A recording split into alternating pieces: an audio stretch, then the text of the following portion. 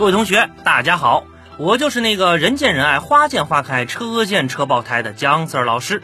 大家好，我就是负责问问题的小 Q 同学。上集我们了解了卷入牛李党争的李商隐，这一集我们来了解一下和李商隐并称为小李杜的军事天才杜牧。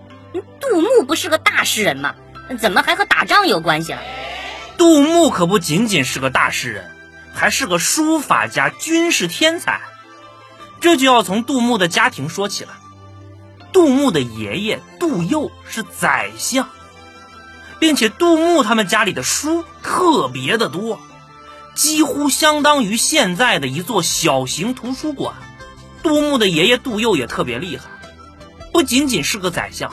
还用了三十五年的时间，完成了大概两百卷的经典作品《通典》。哎，这本《通典》听起来很厉害的样子。《通典》是中国历史上第一部可以完整的讲述每个朝代典章制度的书籍，所以杜牧小时候就是在这样的家庭环境下长大的。杜牧后来还用了两年时间给《孙子兵法》写了注解。嗯，什么是注解呀？注解可以简单的理解。就是对一本书进行翻译解释，并且偶尔加入自己的看法。那但是给《孙子兵法》加了注解，就一定代表杜牧具有军事天赋吗？杜牧曾经给宰相李德裕写过信，信里面的内容大概就是：我觉得应该攻打哪里哪里哪里，怎么怎么怎么打，巴拉巴拉巴拉巴拉巴拉，说了好多他的计划。李德裕看了信后，吩咐下去。让将军就按照杜牧这封信这么打，结果大获全胜。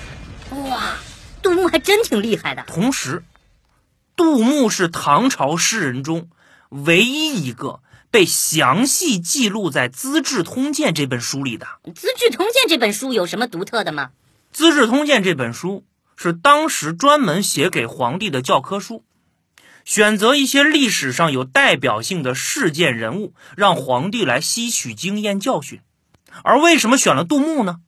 因为杜牧当时分析朝廷和藩镇的战论非常厉害，从经济、军事、人口、财富、地理方方面面全面分析了两者的实力，以及为什么每次平定叛乱都不能彻底胜利。杜牧对整个国家的形势有很深的见解。那原来杜牧这么厉害，那他受到重用了吗？杜牧的成名作叫《阿房宫赋》和《与刘司徒书》。哦，我想起来了，《阿房宫赋》就是通过秦朝灭亡给唐朝统治者提意见那篇。那个时候的杜牧才刚刚二十三岁，这两篇文章写完。朝廷上下大概有二十个人推荐杜牧做官，就以他这样的才华，大家都说绝对是未来的宰相。但不幸，他赶上了那场祸乱国家的牛李党争。那他前面还给李德裕写过信呢，肯定属于李党的人呗。李德裕是把杜牧当做自己人的，也采用过他的军事谋略，但杜牧不想站队。而牛曾儒写信让他去做官，杜牧也没拒绝。那杜牧到底算哪面的呀？反正呢，这两派也没打击他，但也没拿杜牧当自己人。于是呢，杜牧就干点写写文章、出出主意的工作。而杜牧本身又特别喜欢玩。这时候的杜牧来到了扬州，那可是超级繁华热闹的地方。牛曾儒给他安排的工作几乎为零，所以杜牧就是天天玩。哎呦，真是浪费人才，天天就剩下玩了。天才就是天才，扬州的日子里玩归玩，写归写，诗歌创作一点都不少。《春风十里扬州路》就是来自于杜牧笔下，同时还有“娉娉袅袅十三余，豆蔻梢头二月初”。豆蔻年华这个词也是来自于杜牧的诗歌，用来形容十三四岁的少女。杜牧还真是厉害，那他真是个书法家吗？杜牧仅存的书法作品《张好好诗》，现珍藏于北京故宫博物院内。